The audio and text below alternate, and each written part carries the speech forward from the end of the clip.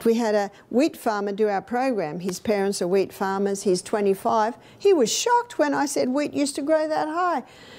You see, at first, it still grew that high, but it was such a heavy yield of grain that the stalks broke before they could harvest it. So back to the drawing board, and they eventually came up with a wheat that only grows that high, has a thick stalk, and it can hold the heavy yield of grain. We had a man do our program, and he said, My brother is a wheat farmer and he's in his 60s, late 60s, and he remembers the old wheat and he loves the new wheat. You know why? He can get six times more grain per acre. What's that? Six times more money per acre. No wonder they love it. But what was never addressed was the effect on the body. This wheat went through, went through intensive crossbreeding, but it bypassed the safety studies.